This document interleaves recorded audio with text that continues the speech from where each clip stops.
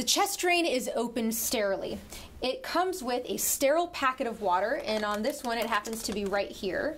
So let's go ahead and open that up.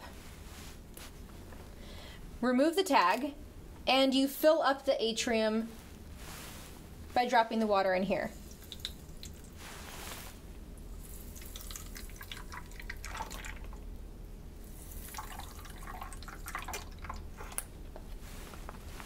Right. Now this tubing will connect sterilely to your patient's chest tube once that's in place.